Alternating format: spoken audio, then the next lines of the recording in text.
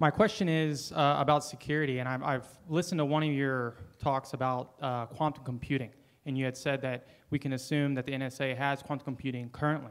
So my, my question is, how can Bitcoin safeguard against quantum computing? That, that's a very good question. Um, so quantum computing isn't a uh, on-off thing. that's, that's a double pun, actually. it's not like you either have quantum computing or you don't have quantum computing.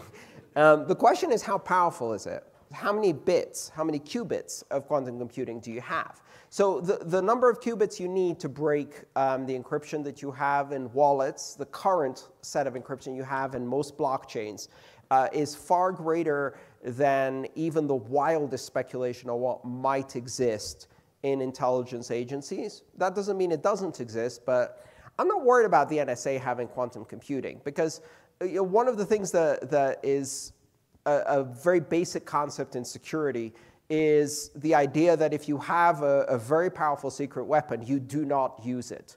You, you wait until you have a very good reason to use it. Um, one way of explaining that is what happened in Coventry when the British had broken Enigma um, they had the most important secret was keeping secret the fact that they'd broken Enigma, otherwise they would go change the, the encryption code. So to keep that secret, they had to do parallel construction. If they found out that something was going to get bombed, they had to, I don't know, capture a German soldier who knew about it and then say that he told them so that they would have a different reason. Uh, and when they didn't have a different reason, they let the Germans bomb Coventry. Thousands of people died to protect the secret of Enigma. So all I'm saying is if the NSA has a quantum computer and they really want to not people not know that that quantum computer, which can also break all of the encryption keys on all of the nukes in the world, all of the communication keys and all of the nuclear subs and all of the military intelligence networks and all of the commercial networks, I don't think they're going to use it to break Bitcoin, if you know what I mean. like that's small fish to them. The real problem becomes when you have broad commercial availability of quantum computing, but not broad enough that all of us can use it in our wallets. Bitcoin needs to change its algorithms. But one of the interesting things that happens is that while you can change the algorithms on all of the active wallets, some wallets have lost keys. Or the people who had those keys are dead, and they can't change the signing algorithm, which means that those wallets will get captured by quantum computers. So one of the interesting things that happens is we will know when quantum computing exists when Satoshi's coins move. That's one of the reasons they'll move. Eventually, they will move.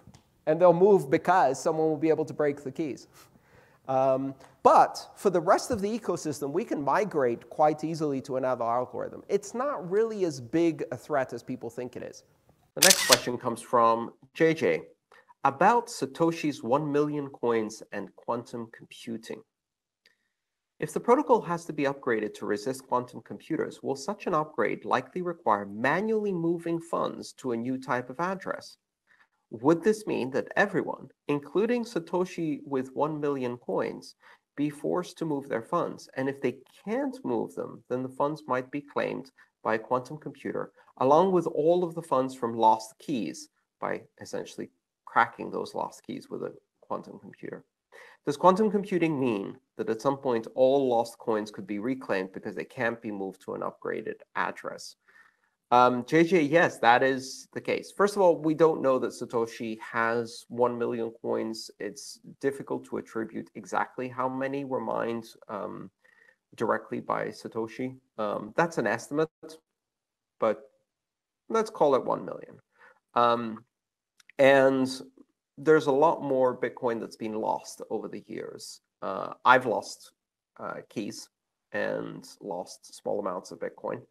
Um, and I'm sure many others have too. So what happens with those?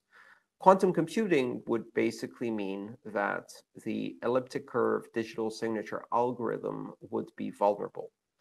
Now, there are two different categories of algorithms that are used within Bitcoin. One is a hashing algorithm, SHA-256, and the other one is a digital signature algorithm, ECDSA, elliptic curve. Quantum computing will uh, most likely affect the elliptic curve digital signature algorithm first. Whether you can use a quantum algorithm to shortcut SHA-256, I'm not sure about that. I don't know if there is a quantum algorithm for that or how easy it is. so that's a different class of algorithm, and it might require a different, uh, a different approach to cracking. Whereas Satoshi um, for example, never spent, never moved any of the initial mined coins. So if, in fact, Satoshi had a million coins, and if those are sitting there on the blockchain, um, because they haven't been spent, we don't have a signature, and we don't have a public key.